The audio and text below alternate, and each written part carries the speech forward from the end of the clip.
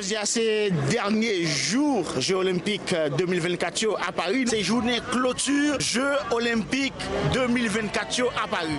Moun yo excité pour que y a un bel hommage à tout athlète qui t'a fait vivre un événement que Paris pas recevoir depuis plus de 100 ans.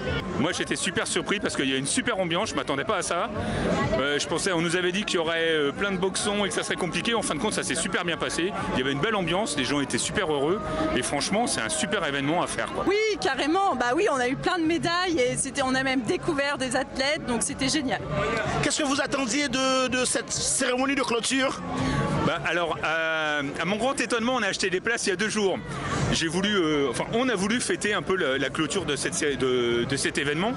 Et qu'est-ce que j'attends? Je sais pas. J'ai envie d'être surpris. Voilà. Donc, j'ai pas d'attente spéciale.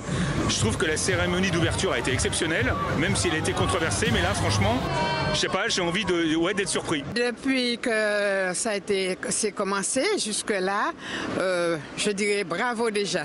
C'était un grand événement.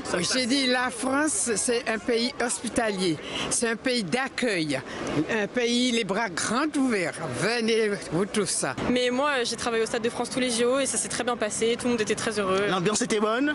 Très très bien. Et que, que, que, pensez-vous? Comment vous appelez Déborah. Déborah, comment pensez-vous Déborah?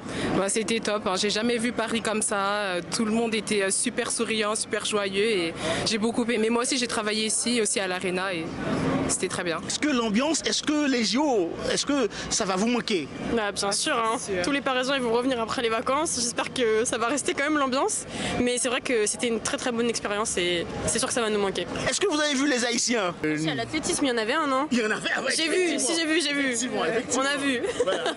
Oui, dans la cérémonie finale Jeux Olympiques V24 dans ville Paris, Haïti était bien là. Drapeau bicolore a tap flotté dans tout stade là. Tableau cérémonial a déroulé sous plusieurs autres planètes. kote yo te plase ane olimpik yo an le, e Leon Marchand, najeur ki pran 4 meday do, tout sel pou peyi la Frans te pase flamboua bay Simone Biles pou futu je olimpik yo nan 4 an a Los Angeles. Akteur Amerikenyan Tom Cruise fè yon show ekstraordinèr, an pi la kobasi, chou a motosiklet, avèk drapo olimpik la an men e al plase l a Los Angeles pou pouchen je olimpik yo. J.D.M. Franklin do a ou Stade de France pou la seremoni final de Jeux Olimpik 2024